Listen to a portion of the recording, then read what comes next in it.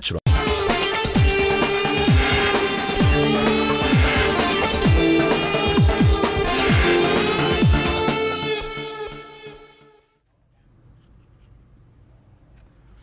Morning హైజన్ BSL four సమర్పిస్తున్న business breakfast షోకి స్వాగతం.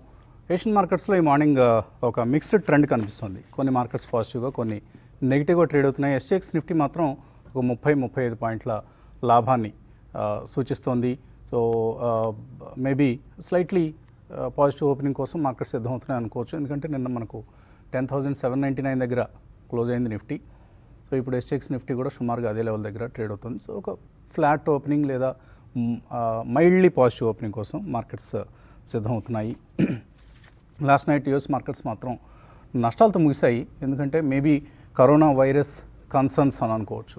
బట్ ఫ్యూచర్స్ ఈ ఈ మార్నింగ్ మనకు పాజిటివ్గా ట్రేడ్ అవుతున్నాయి కాబట్టి ఏషియన్ మార్కెట్స్లో కూడా కొంత పాజిటివ్ పాజిటివ్నెస్ వస్తుంది ఇప్పుడిప్పుడు. ఇంతకుముందు కొద్దిగా నష్టాల్లో ట్రేడ్ అయిన ఇండి ఇండిసెస్ కూడా ఇప్పుడు పాజిటివ్లోకి మళ్ళుతున్నాయి. సో మన మార్కెట్స్ నిన్న ఒక థర్టీ సిక్స్ పాయింట్స్ లాభం గమనించాం. లాట్ ఆఫ్ స్పెక్యులేటివ్ యాక్టివిటీ మనం కౌంటర్స్లో గమనిస్తూ ఉన్నాం. లైక్ ఫినాన్షియల్స్ బ్యాంక్స్ వీటిల్లో చాలా హ్యూజ్ స్పెక్యులేషన్ నడుస్తుంది. ఇప్పుడు బజాజ్ ఫైనాన్స్ ఫర్ ఇన్స్టాన్స్ మనం నిన్న ఈ స్టాక్ ఆల్మోస్ట్ ఒక seven and half percent seven point seven percent పెరిగింది. కానీ డెలివరీ వాల్యూమ్స్ ఇందులో ఎయిట్ పర్సెంటే ఉన్నాయి. సో ఇది మనం గమనించాలి. అలాగే బంధన్ బ్యాంక్ చూసిన చూసినా నైన్ పాయింట్ త్రీ పర్సెంట్ పెరిగింది.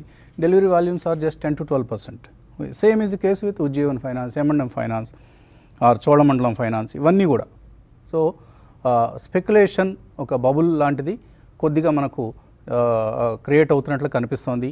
ఎందుకంటే ఇది పదే పదే అనుకున్నట్టుగానే లిక్విడిటీ డ్రివెన్ మార్కెట్. సో ఈ లిక్విడిటీని ఎప్పుడైతే ఒక చిన్న అడ్డుకట్ట పడినా లేకపోతే ఒక చిన్న బ్రేక్ పడినా కూడా మార్కెట్స్ ఒక్కసారిగా కిందకు వస్తాయి సో ఆ రిస్క్ని మనం పదే పదే అనుకుంటున్నాం. ఎందుకంటే మనకు ఇప్పటికి కూడా ఇంకా కరోనా వైరస్ రిస్క్ ఇంకా పోలేదు. చాలా తీవ్రత దాలుస్తుంది పైగా. రాబోయే రోజుల్లో ఈ ఇయర్ ఎండ్కి ఇంకా ఉధృత రూపం దాలుస్తుంది కరోనా అని చెప్తున్నారు. ఎందుకంటే ఇప్పుడు డబ్ల్యూహెచ్ఓ చెప్తోంది ఎయిర్ బార్న్ డిసీజ్ అయింది ఇది అని. అంటే గాలిలో అది వ్యాపించే అవకాశం ఉంది. సో గాలిలో వ్యాపించడం ద్వారా ఇతరులకి అంటుకునే సోకే ప్రమాదం ఉంది అనేది డబ్ల్యూహెచ్ఓ ఇప్పుడు నెమ్మదిగా చెప్తోంది. కాబట్టి it is the world is in a very dangerous position so ఇప్పటికీ ఇంకా మరణాలు సంభవిస్తూనే ఉన్నాయి. కరోనా వైరస్ వ్యాప్తి జరుగుతూనే ఉంది. అలాగే మరొక ప్రమాదం జియో పొలిటికల్ రిస్క్ మనకు చైనా పక్కనే ఉంది మనకు అంటుకొని పక్కలో బల్లెంలాగా సో చైనా ప్రమాదం అలాగే ఉంది. మేబీ గతంలో లాగా ఒకసారి వెనక్కి వెళ్ళినట్లే వెళ్ళి ట్రూప్స్ అన్నీ మళ్ళీ ఒకసారి అగ్రెసివ్గా వస్తారనే ఒక అంచనా కొంతమంది వ్యక్తం చేస్తున్నారు. సో ఇలాంటి ప్రమాదాలు అన్నీ మనకు ఉన్నాయి పక్కనే. కానీ ప్రస్తుతానికైతే మార్కెట్ సేఫ్ జోన్లోనే ఉన్నాయి. అలా అని అందరం భయపడి పారిపోవడం లేకపోతే ఇక్కడి నుంచి అందరం అమ్మేసుకుని వెళ్ళిపోవడం అలా చెప్పడం లేదు. But there is a risk. At the same time the reward is also there. So Bajaj ఫైనాన్సే మనకు ఒక క్లియర్ కట్ ఎగ్జాంపుల్. త్రీ మంత్స్లో లాస్ట్ త్రీ మంత్స్లో ఫిఫ్టీ పర్సెంట్ రిటర్న్ ఇచ్చింది. అందరూ ఇంకేముంది ఈ మారిటోరియంస్? ఇవన్నీ ఈ కంపెనీలని చా చావగొడతాయి చెత్త కొడతాయని అనుకుంటే అలాంటి ప్రమాదం ఏది లేదని తేలుతోంది ఇప్పుడు. అంటే కొద్దిగా ఉంది రిస్క్. సే అందరూ హండ్రెడ్ పర్సెంట్ ఉందనుకుంటే అది ఓన్లీ ఒక థర్టీ పర్సెంట్ మాత్రమే ఆ ఎఫెక్ట్ ఉంటుంది ఈ మారిటోరియం ఎఫెక్ట్ అనేది ఇప్పుడు ఆ కంపెనీ మేనేజ్మెంట్ కామెంటరీలో మనకు తెలిసింది. అక్కడ నుంచే ఆ స్టాక్ బాగా రణ రణప్ రావటం అనేది మనం చూస్తున్నాం సో ఇలా మనకు ఎస్పెషల్లీ ఫినాన్షియల్ స్పేస్లో చాలా యాక్టివిటీ మనం లాస్ట్ ఫ్యూ డేస్గా గమనిస్తున్నాం. And Reliance industries anyway it is continuously ఇప్పుడు ఒక ఒక కీలకమైన అవతారం దాల్చింది. కీలకమైన పాత్ర పోషిస్తుంది ఇండియన్ స్టాక్ మార్కెట్స్ గమనంలో. రిలయన్స్ ఇండస్ట్రీస్ ఇవాళ ఇవాళ బిజినెస్ ఛానల్లో కూడా ఒక ప్రధానమైన వార్త ఉంది. సారీ ఎకనామిక్ టైమ్స్లో ఏడిఐఏ అంటే అబుదాబీ ఇన్వెస్ట్మెంట్ అథారిటీ మనకు తెలిసిందే ఇది. ఇంతకుముందు జియోలో జియో ప్లాట్ఫామ్స్లో ఇన్వెస్ట్ చేసింది. ఇప్పుడు ఈ కంపెనీ జియో ఫైబర్లో ఇన్వెస్ట్ చేయడానికి వన్ బిలియన్ డాలర్స్ పావులు కదుపుతోంది. రిలయన్స్తో చర్చలు నిర్వహిస్తోంది. సో ఇంతకుముందు అనుకున్న ప్రతిపాదన ఇది. జియో ఫైబర్ అంటే జియో ప్లాట్ఫామ్స్ అంటేనేమో మనం చూస్తున్న ఈ telecom company. But Jio fibre అనేది ఆప్టికల్ ఫైబర్స్ దేశవ్యాప్తంగా వేసి దాని ద్వారా ఈ ట్రిపుల్ ప్లే ఇంటర్నెట్ టెలివిజన్ అలాగే టెలిఫోన్ సర్వీసెస్ అందించే మరొక subsidiary for Reliance industries so ఇప్పుడు జియో ప్లాట్ఫామ్స్లో ఇన్వెస్ట్మెంట్స్ అయిపోయాక జియో ఫైబర్లో ఇన్వెస్ట్మెంట్స్ మొదలయ్యే అవకాశం కనిపిస్తుంది. సో డెట్ క్లియర్ కావడమే కాకుండా Reliance Industries will be in a very very comfortable position in terms of having huge cash reserves వాటిని వాళ్ళు భవిష్యత్తులో వ్యాపార అవకాశ వ్యాపార అభివృద్ధి కోసం వినియోగించుకునే అవకాశం ఉంది. కాబట్టి రిలయన్స్ ప్రతి ఒక్కళ్ళ పోర్ట్ఫోలియోలో ఉండాలని మనం మూడు నాలుగు నెలల నుంచి ఎందుకు చెప్తున్నాం అంటే ఇవన్నీ కారణాలు. సో ఈ కంపెనీ పోర్ట్ఫోలియోలో ఒక షేర్ రెండు షేర్లు కూడా లేకపోతే కనీసం మన పోర్ట్ఫోలియో పోర్ట్ఫోలియోనే కాదు ఇప్పుడు. అలాంటి ఒక కీలకమైన పాత్రని రిలయన్స్ ఇండస్ట్రీస్ పోషిస్తోంది. ఎందుకంటే ఒక చిన్న ఎగ్జాంపుల్ చెప్తాను నేను. లాస్ట్ మనం సెప్టెంబర్లో కనుక చూస్తే మార్కెట్ క్యాపిటలైజేషన్ అంటే మీకు తెలిసిన కొత్త వాళ్ళ కోసం ఒకసారి చూద్దాం. అంటే ఆ కంపెనీకి ఏవైతే షేర్స్ ఇష్యూడ్ షేర్స్ ఉన్నాయో ఆ shares number of shares into మార్కెట్లో ఆ కంపెనీ షేర్ ధర. దీన్ని హెచ్చిస్తే అంటే గుణించితే ఆర్ మల్టిప్లై చేస్తే వచ్చే ఫిగర్ని మార్కెట్ క్యాపిటలైజేషన్ ఆ కంపెనీకి సంబంధించిన మార్కెట్ క్యాపిటలైజేషన్ అంటాం. సో మార్కెట్ క్యాపిటలైజేషన్ దృష్ట్యా మనం last September two thousand nineteen సెప్టెంబర్లో చూస్తే టీసీఎస్ రిలయన్స్ కంటే పైన ఉంది. So eight lakh crores market cap దాటింది అప్పుడు TCS. Reliance Industries was just seven point six lakh క్రోర్స్లో అప్పుడు ఉన్నది. తర్వాత స్థానంలో HDFC Bank around six lakh crores Hindustan Unilever fourth పొజిషన్లో ఉంది. అదే కంపెనీ ఇప్పుడు పరిస్థితి ఏంటి? మార్కెట్ క్యాప్స్ ఎలా ఉన్నాయని చూస్తే రిలయన్స్ ఇవాళ మనకు పన్నెండు లక్షల ముప్పై మూడు వేల కోట్ల మార్కెట్ క్యాపిటలేషన్ నిన్న నిన్నటి మార్కెట్ క్యాప్ ఇది. సో పన్నెండు లక్షల ముప్పై మూడు వేల కోట్ల మూడు వందల ఇరవై ఆరు కోట్లు. సో పన్నెండు లక్షల ముప్పై మూడు వేల మూడు వందల ఇరవై ఆరు కోట్లు అంటే అప్పటికి ఇప్పటికి ఎంత వేరియేషన్ చూడండి. Almost fifty percent market cap పెరిగింది. టీసీఎస్ మాత్రం అక్కడ అప్పుడు జస్ట్ ఎయిట్ ల్యాక్ క్రోర్స్ ఉన్నది. ఇప్పుడు ఎయిట్ పాయింట్ ఫైవ్ ల్యాక్ క్రోర్స్కి వచ్చింది. సో హెచ్డిఎఫ్సి బ్యాంక్ అప్పుడు five point nine eight lakh crores ఉన్నది. ఇప్పుడు just six point zero six అంటే ఒక ఎనిమిది వేల కోట్ల మార్కెట్ క్యాప్ మాత్రమే పెరిగింది హెచ్డిఎఫ్సి బ్యాంక్లో. అలాగే Hindustan Unilever five lakh crores. So అప్పుడు మనకు కనిపించిన value three lakh ninety five thousand. అంటే ఒక లక్ష కోట్లు హిందుస్థాన్ యూనిలివర్ మార్కెట్ క్యాప్ కూడా బాగా పెరిగింది. సెప్టెంబర్ టూ థౌజండ్ నైన్టీన్తో కంపేర్ చేస్తున్నాం మనం. సో ఇలాంటి గమ్మత్తులు ఇలాంటి బండ్లు ఓడలు కావటం ఓడలు బళ్ళు కావడం అనేది మార్కెట్లో తరచుగా గమనిస్తూ ఉంటాం. అది చిన్న కంపెనీల విషయంలోనే కాదు పెద్ద కంపెనీల విషయంలో కూడా జరుగుతుంటుంది అనడానికి మనకి ఇవన్నీ ఉదాహరణలు. సో షేర్లు తారాజోల్లాగా షేర్ ప్రైసెస్ పై పైకి వెళ్తున్నాయి. పట్టుకొని మనం కూడా పైకి ఎగరగలిగితే మంచిదే. కానీ వాటికి ఎదురు వెళ్ళి మొహం మాత్రం కాల్చుకోవద్దు. జాగ్రత్తగా ఉండాలి. Be careful about especially the penny stocks the small cap stocks the mid cap stocks. Have a bias towards the large cap stocks.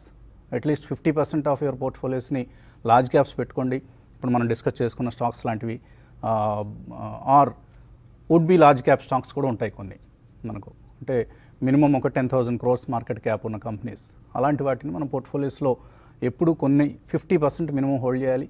మిగతా ఫిఫ్టీ పర్సెంట్లో మీరు మిడ్ స్మాల్ క్యాప్స్ పెన్నీ స్టాక్స్కి మాత్రం ఎటువంటి పరిస్థితుల్లో లెస్ దాన్ ఫైవ్ పర్సెంట్ మాత్రమే మీ మీ మొత్తం పోర్ట్ఫోలియోలో చా- చోటు ఇవ్వండి అవి కూడా ఉండాలి సరదాగా అప్పుడప్పుడు ఐదు రూపాయల్లో కొనామండి ఐడియా సెల్యులర్ పది రూపాయలు అయింది ఇలాంటి థ్రిల్స్ ఉంటాయి.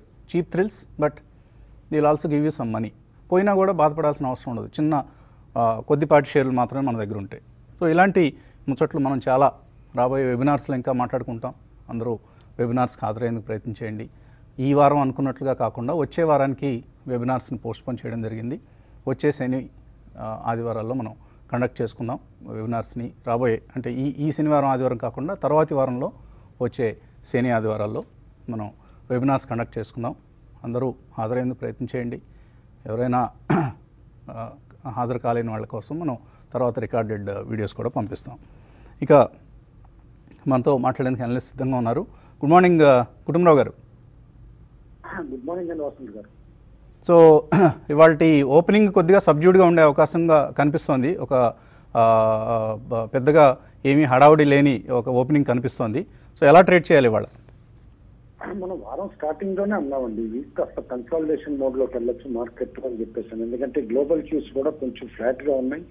ప్లస్ గ్లోబల్లీ కొంచెం కొత్త కన్సర్న్స్ తెర మీద కూడా వస్తున్నాయి. అది అబ్జర్వ్ చేసాం. నిన్న యుఎస్ మార్కెట్లో కూడా చూస్తే airline stocks cruise liner stocks ఇవన్నీ కూడా బాగా పట్టం చూసాం. ఫైనాన్షియల్స్ కూడా కరెక్ట్ అయినాయి అక్కడ.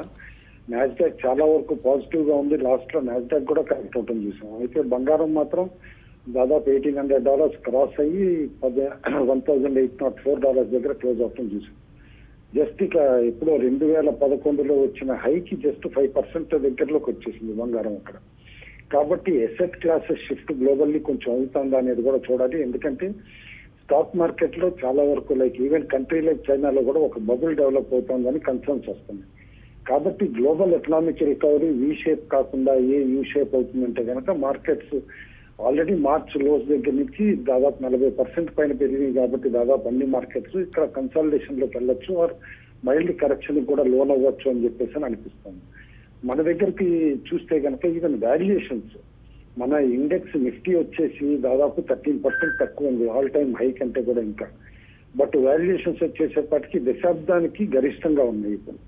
టెన్ ఇయర్ హైస్కి వచ్చేసింది. ఏది? నిఫ్టీ వాల్యుయేషన్ అనమాట ఎందుకంటే ఇది దాదాపు ఇప్పుడు average forecast sixteen and half times PE ఉంటే కనుక నిఫ్టీ స్టాక్స్ ఇప్పుడు దాదాపు ట్వంటీ దగ్గర ట్రేడ్ అవుతుంది అనమాట కాబట్టి కాస్త అప్రమత్తత అవసరం ఇక్కడ. ఎంత కాదన్నా కూడా. సెలెక్ట్ స్టాక్సే చూడాలి. అండ్ స్టాక్ స్పెసిఫిక్ యూనిట్ తీసుకోవాలి. అదర్వైజ్ వాల్యుయేషన్స్ కొంచెం ప్రైజీగా ఉన్నాయని అనిపిస్తుంది కాబట్టి అర్నింగ్స్ ఈ క్యూ వన్ ఏదైతే కనుక April to June Q one ఏదైతే వస్తుందో అది వీక్గా ఉంటుందని తెలిసి కూడా మార్కెట్ ఇంత స్ట్రెంత్ చూపిస్తుందంటే స్పెక్యులేటివ్ యాటిట్యూడే ఎక్కువ ఉంది అని చెప్పేసి అని అనుకోవాలి. మోర్ దాన్ అండ్ లిక్విడిటీ వల్ల ఈ మార్కెట్ డ్రైవ్ అయింది. అది మనకు అందరికీ తెలిసిన విషయం. వన్స్ లిక్విడిటీ కనుక వేరే అసెట్ క్లాస్కి షిఫ్ట్ అవటం లేకపోతే ఆ లిక్విడిటీ ట్యాప్ కనుక ఆపేశారు అనుకోండి డెఫినెట్లీ మార్కెట్స్ కరెక్ట్ అవటం ఎక్స్పెక్ట్ చేయాలి మనం. కాబట్టి ఇట్లా అని భయపెట్టట్లేదు బట్ డెఫినెట్లీ అంటే we should be prepared for volatility March రోజు దగ్గర నుంచి ఏ విధంగా పెరిగిందో కూడా చూసాం కాబట్టి. ఈ వలటిలిటీకి ప్రిపేర్ అయిన వాళ్ళే ట్రేడర్స్ ట్రేడర్గా ఉండాలి. ఇన్వెస్టర్స్ మాత్రం లాంగ్ టర్మ్ వ్యూ తోటి వాళ్ళు మాత్రం స్టేయింగ్ ఉండొచ్చు. And still it is a buy on dip rally అని చెప్పేసి అంటాం. ఎందుకంటే as long as ten thousand three hundred ten thousand five hundred band sustain చేసుకునే వరకు అనమాట మార్కెట్ పెద్ద ఫియర్స్ ఏమి లేవనుకుంటాను బట్ డెఫినెట్లీ బి గ్రూప్లో మోర్ ఆపర్చునిటీస్ కనిపిస్తున్నాయి. ఇప్పుడు ఏ గ్రూప్ కంటే కూడా. అదొక్కటి కేర్ఫుల్గా చూడాలి. అండ్ నిన్న ఆర్థిక మంత్రి గారు ఏదైతే కనుక పబ్లిక్ సెక్టర్ కంపెనీస్ చీఫ్స్ తోటి క్యాపెక్స్ పైన దీనిపైన మీటింగ్ పెట్టారో అది చూస్తే కనుక మనం ముందు నుంచి దాదాపు వన్ అండ్ హాఫ్ మంత్ నుంచి చెప్తున్నాం పబ్లిక్ సెక్టర్ స్టాక్స్ కాన్సన్ట్రేట్ చేయండి అని. చాలా stocks thirty to forty percent కొన్ని అయితే బిహెచ్ఎల్ లాంటిది హండ్రెడ్ పర్సెంట్ రిటర్న్స్ ఇవ్వడం కూడా మనం చూసాం but still public sector stocks public sector banks valuations చీప్గా ఉన్నాయి కాబట్టి కరెక్షన్ వచ్చినప్పుడల్లా ఆ స్టాక్స్లో బయింగ్ ఆపర్చునిటీ చూడమని చెప్పేసి అని చెప్పాను ఓకే ఇది రిజల్ట్ సీజన్ సో మనకు రిజల్ట్ సీజన్ ప్రారంభమైంది. ఆల్రెడీ కొన్ని బ్యాంక్స్ ఫైనాన్షియల్ కంపెనీస్ రిజల్ట్స్ ఇవ్వడం చూసాం. సో టీసీఎస్ రిజల్ట్స్ రాబోతున్నాయి. రాబోయే రోజుల్లో అలాగే ఇన్ఫోసిస్ హెచ్ఎల్టెక్ ఈ రిజల్ట్స్ కూడా వస్తాయి. సో టీసీఎస్ అందరికంటే బెటర్ రిజల్ట్స్ ఇస్తుందని మార్కెట్ ఎక్స్పెక్ట్ చేస్తుంది.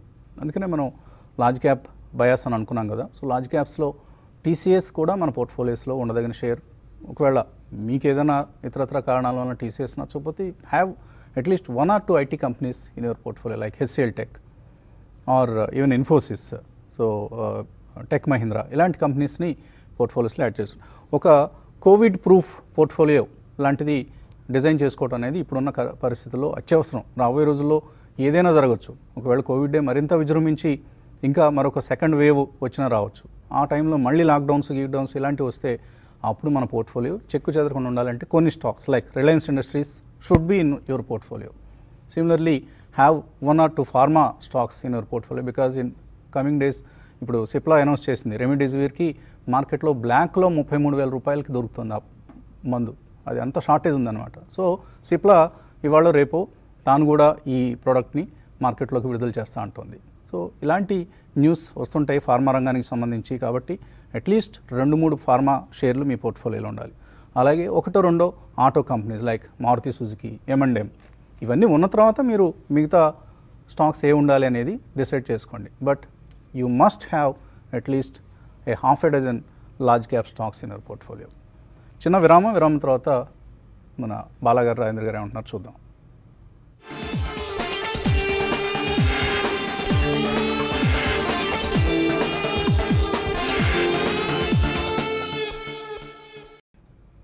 హైజన్ బిఎస్ఎల్ ఫోర్ సమర్పిస్తున్న బిజినెస్ బ్రేక్ఫాస్ట్ షోకి పునఃస్వాగతం. మనతో మాట్లాడేందుకు బాలాగారు సిద్ధంగా ఉన్నారు. Good morning బాలాగారు. Good morning Vasanth garu. So ఏమిటి ఈ ఈ వారంలో మీరు కోర్స్ మన ప్రాఫిట్ ట్రేడ్ సబ్స్క్రైబర్స్కి ఇచ్చిన నాలుగు రికమెండేషన్స్లో రెండు ఇప్పటికే చక్కగా పేలాయి. Almost ten more than ten percent returns ఇచ్చాయి. ఇంకొక రెండు ఇంకా పెర్ఫామ్ చేయాల్సి ఉంది. సో అలా కోర్స్ ఓవరాల్ మార్కెట్ ఒక బులిష్ మూడ్లో ఉంది. That is helping our recommendations also but in addition to that మనం చూస్తున్నాం ఐటీలో ఒక మంచి బయింగ్ ఆపర్చునిటీ కనిపిస్తోంది. అలాగే చాలా సెక్టర్స్లో ఆటోస్లో కెమికల్ స్పెషాలిటీ కెమికల్స్ వీటిలో. అలాగే ఇన్ఫ్రాలో ఏమైనా మీకు కొన్ని ఆశాకిరణాలు ఏమైనా కనిపిస్తున్నాయా?